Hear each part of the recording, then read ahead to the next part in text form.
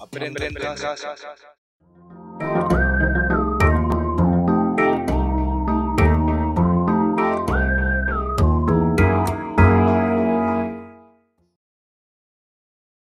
Hola, buenos días. Vamos a resolver hoy un problema de BAU de la región de Murcia de junio de 2016 sobre física del siglo XX. Concretamente, un problema sobre efecto fotoeléctrico. Sobre una lámina de metal incide luz amarilla de 589 nanómetros de longitud de onda, liberándose electrones con una energía cinética de 0,58 por 10 2 menos 19 julios cada uno. Nos pregunta la frecuencia de la luz amarilla, la función de trabajo o extracción de dicho metal en electronvoltio y si iluminamos esta lámina de metal con luz ultravioleta de una frecuencia determinada, calcular la velocidad de los electrones emitidos.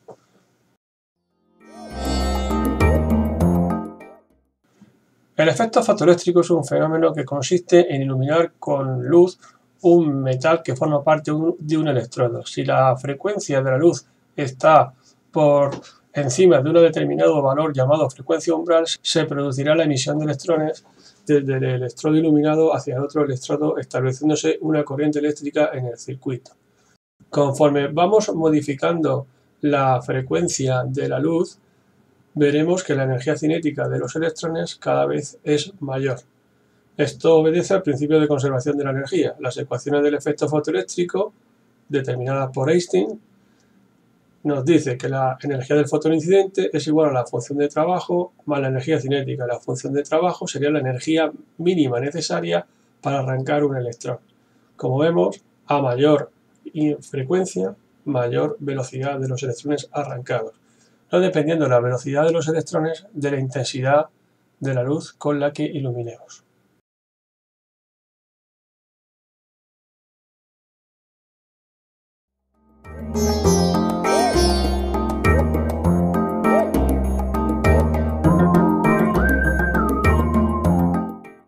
Vamos a resolver el apartado A, calcular la frecuencia de la luz amarilla. Como sabemos, el producto de la longitud de onda por la frecuencia es la velocidad de la onda. La velocidad de la onda, en este caso, es la velocidad de la luz, pues se trata de una onda electromagnética. Despejando c partido de lambda, la frecuencia sería 3 por 10 elevado a 8 dividido de 5,89 por 10 elevado a menos 7 5,1 por 10 elevado a 14 Hz. También podemos calcular la energía del fotón incidente como producto de la constante de Planck por la frecuencia nos da un valor de 3,38 por 10 elevado a menos 19 julios. Para el segundo apartado, para calcular la función de trabajo, partiendo de las ecuaciones de Einstein, la función de trabajo será la energía mínima necesaria para arrancar el electrón. Sabiendo que la energía cinética de los electrones arrancados es 0,58 por 10 elevado a menos 19 julios y despejando de la ecuación de Einstein, la función de trabajo será la energía del fotón incidente, pero la energía cinética de los electrones.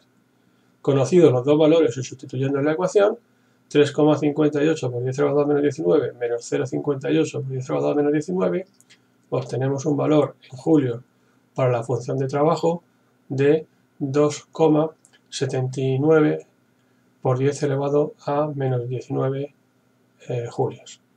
El valor solicitado es en electronvoltio, teniendo en cuenta que la equivalencia de electronvoltio en julio es que un electronvoltio es a 1,6 por 10 elevado a menos 19 julios, y utilizando esta equivalencia como factor de conversión, 2,79 por 10 elevado a menos 19 julios,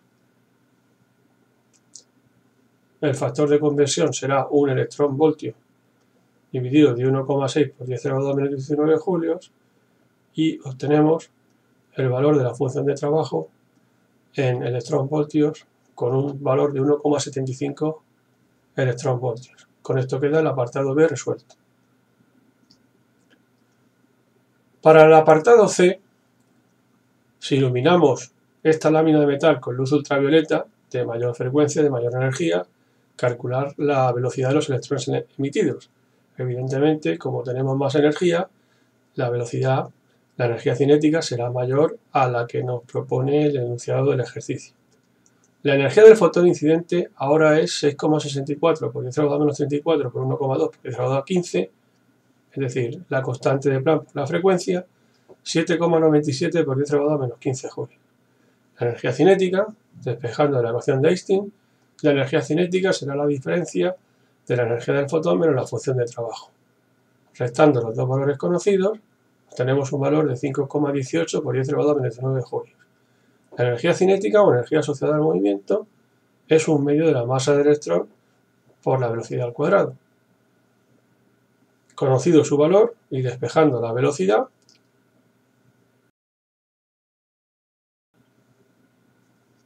sustituyendo el valor de la masa en la ecuación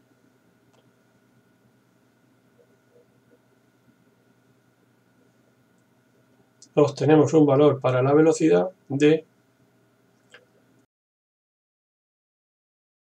1,07 por 10 elevado a 6 metros por segundo.